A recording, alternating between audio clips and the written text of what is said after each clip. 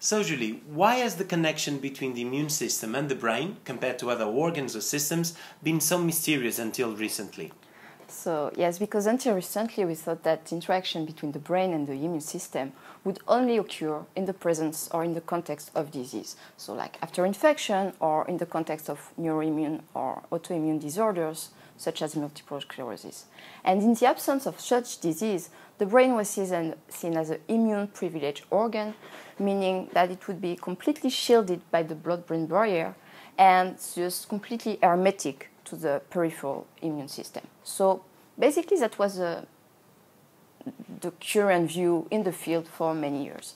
But new studies have been completely revisiting this concept, and now they reveal the presence of uh, lymphatic vessels in the meninges that would home the immune system at steady state, so in the absence of disease.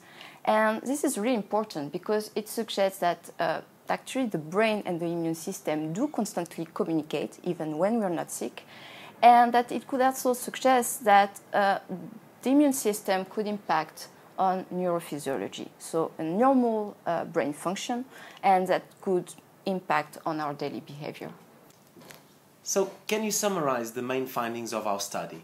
Yes, our study is a good illustration of this neuroimmune uh, interaction at steady state we found that uh, immune uh, inflammatory molecule, which is IL-17, is produced by a specific subset of immune cells in the meninges, which are the gamma delta T cells. And we show that this promotes the process of learning and memory. So for this, we tested the cognitive performance of mice in specific mazes that are commonly used in neuroscience. And we show that mice deficient for gamma delta T cells or for IL-17 actually display uh, impaired short-term memory. What is short-term memory? So short-term memory is basically the memory that you would display in a very short term uh, period. For example, you could remember what you had for lunch um, today, but mostly you won't remember what you had lunch like one week ago. And uh, mechanistically, how does this work? So we showed that the IL-17 in the meninges would promote uh, the secretion of neurotransmitters and would help to maintain an optimal uh, signaling of the neuronal network in the hippocampus, which is the brain part responsible for this learning and memory process. And why do you think these findings were surprising? So when we started this project, we were actually looking for gamma delta T cells to have a procognitive role in the brain. We actually thought, based on previous literature on other T cells being helping the mouse, in this case the model being used to learn, we thought gamma delta cells would be procognitive.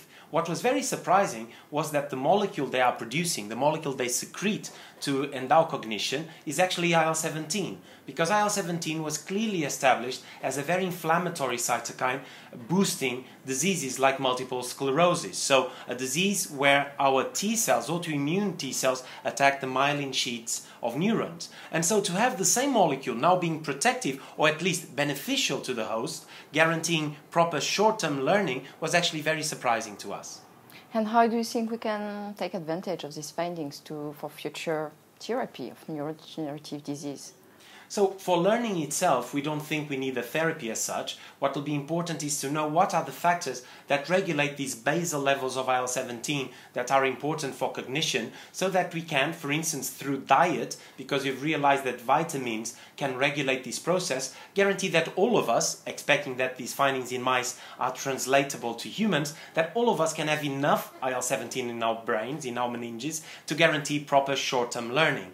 But what will be critical is to understand understand how these levels of IL-17, if dysregulated, if exacerbated, like in the case of MS, but now in the case of other uh, diseases, such as neurodegenerative diseases, might actually be very pathogenic and therefore a new target for immunotherapy.